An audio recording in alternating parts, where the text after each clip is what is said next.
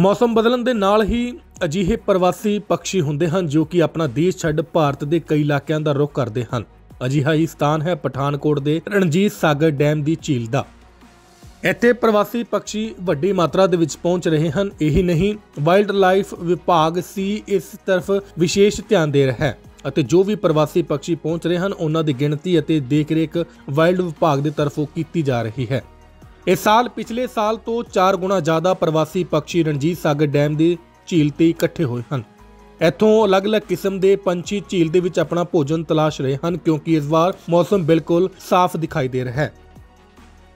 ਜਿਸ ਦੇ ਚਲਦੇ ਸਾਈਬੇਰੀਅਨ ਬਰਡਸ ਦੀ ਗਿਣਤੀ ਵਧੀ ਹੈ ਅਤੇ ਪੰਛੀ ਸਾਈਬੇਰੀਆ, ਰਸ਼ੀਆ ਅਤੇ ਯੂਕਰੇਨ ਜੈਸੇ ਦੇਸ਼ਾਂ ਤੋਂ ਭਾਰਤ ਦਾ ਰੁਖ ਕਰਦੇ ਹਨ ਅਤੇ ਕਈ ਹਜ਼ਾਰ ਕਿਲੋਮੀਟਰ ਦਾ ਸਫ਼ਰ ਤੈਅ ਕਰਦੇ ਹੋਏ ਪਠਾਨਕੋਟ ਪਹੁੰਚੇ ਹਨ। ਇਸ ਬਾਰੇ ਵਿੱਚ ਜਾਣਕਾਰੀ ਦਿੰਦਿਆਂ ਹੋਏ DFO wildlife Paramjit Singh ਨੇ ਦੱਸਿਆ ਕਿ ਪਿਛਲੇ ਕੁਝ ਸਾਲਾਂ ਦੇ ਬਦਲੇ ਪ੍ਰਵਾਸੀ ਪੰਛੀਆਂ ਦੀ ਗਿਣਤੀ ਇਸ ਸਾਲ ਵਧੀ ਹੈ। ਇਸ ਸਾਲ 5000 ਤੋਂ ਜ਼ਿਆਦਾ ਪ੍ਰਵਾਸੀ ਪੰਛੀ ਰਣਜੀਤ ਸਾਗਰ ਡੈਮ ਦੀ ਝੀਲ ਤੇ ਦੇਖਣ ਨੂੰ ਮਿਲ ਰਹੇ ਹਨ, ਜੋ ਪਿਛਲੇ ਸਾਲਾਂ ਦੇ ਮੁਕਾਬਲੇ ਬਹੁਤ ਜ਼ਿਆਦਾ ਨੇ। ਜਿਸ ਦੇ ਪਿੱਛੇ ਕਾਰਨ ਹੈ ਕਿ ਇਸ ਵਾਰ ਮੌਸਮ ਉਹਨਾਂ ਦੇ ਅਨੁਕੂਲ ਹੈ ਜਿਸ ਕਾਰਨ ਗਿਣਤੀ ਵਧੀ ਹੈ ਅਤੇ ਵਾਈਲਡ ਲਾਈਫ ਵਿਭਾਗ ਵੀ ਖਾਸ ਕਰਕੇ ਇਸ ਉੱਪਰ ਪੂਰਾ ਧਿਆਨ ਦੇ ਰਿਹਾ ਹੈ।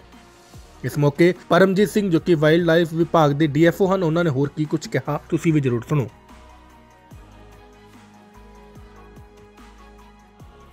ਜੀ, ਬਿਲਕੁਲ ਸਹੀ ਗੱਲ ਆ।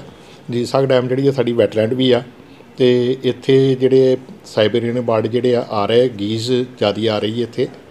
ਤੇ ਇੱਥੇ ਇਸ ਵਾਰ ਪਿਛਲੇ ਸਾਲ ਜਿਹੜੀ ਸੀਗੀ 1500 ਤੋਂ 1200 ਤੋਂ 1500 ਸੀਗੀ। ਉਸ ਤੋਂ ਪਿਛਲੇ ਸਾਲ 1000 1200 ਦੇ ਲਾਗੇ ਜਾ ਕੇ ਸੀ। ਇਸ ਸਾਲ ਜਿਹੜੀ ਆ, ਸਾਡੇ ਅੰਦਾਜ਼ੇ ਮੁਤਾਬਕ ਜਿਹੜੀ 5000 ਪਲੱਸ ਜਿਹੜੀ ਉਹ ਵੇਖਣ ਨੂੰ ਮਿਲ ਰਹੀ ਆ।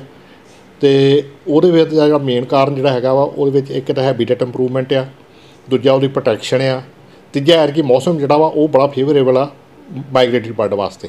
ਇਹ ਮੋਸਟਲੀ ਸਾਈਬੇਰੀਆ ਰਸ਼ੀਆ ਇਹਨਾਂ ਸਾਈਡਾਂ ਤੋਂ ਆਉਂਦੇ ਆ। ਕਿਉਂਕਿ ਉੱਥੇ ਜ਼ਿਆਦਾ ਸਨੋਫਾਲ ਹੋਣ ਕਰਕੇ ਫਿਰ ਇਹ ਥੋੜਾ ਜਿਹਾ ਇੱਧਰਲੇ ਪਾਸੇ ਆ ਜਾਂਦੇ ਆ। ਤੇ ਇਹ ਨਵੰਬਰ ਸ਼ੁਰੂ ਦੇ ਵਿੱਚ ਔਰ ਫਰਵਰੀ ਐਂਡ ਤੱਕ ਇਹਨਾਂ ਨੇ ਇੱਥੇ ਰਹਿਣਾ ਆਪਣੇ ਕੋਲ। ਤੇ ਇਸ ਤੋਂ ਬਾਅਦ ਇਹ ਜਿਹੜੇ ਆ ਗਰਮੀ ਹੋਣ ਕਰਕੇ ਫਿਰ ਵਾਪਸ ਚੱਲ ਜਾਂਦੇ ਆ।